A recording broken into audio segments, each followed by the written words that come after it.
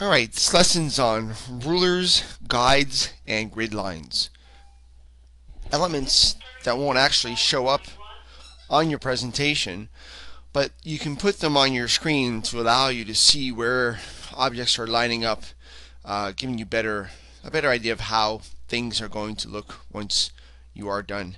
So I'm going to switch over to View here, the View tab that is, and on the View tab we have the ability to turn on your rulers.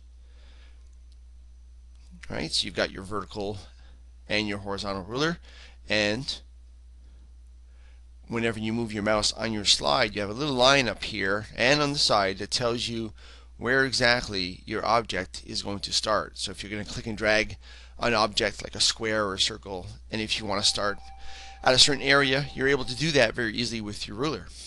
Now, your grid lines are here. Now, oftentimes when you insert an object, they'll snap to one of the grid lines.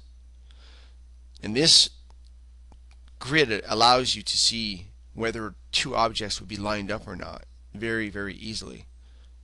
So those are your grid lines, non-printing grid lines. I'm going to turn them off so I can show you the next feature. The next feature, for some reason, didn't make it in the show hide list. We have to go a little deeper to get it.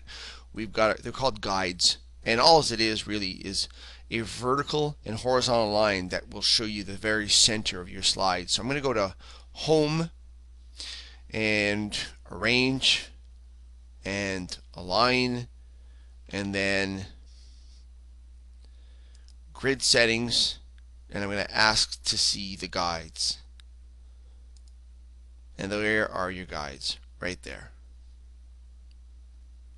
So you would determine whether you use your guides or whether you use your grid lines. I don't know that I would use both uh, for any. I can't think of any reason why I would use both, but I know that I used I use the grid lines quite a bit in Word when I want to line up things uh, quickly and easily. So that was View, and you can turn on your grid lines like that.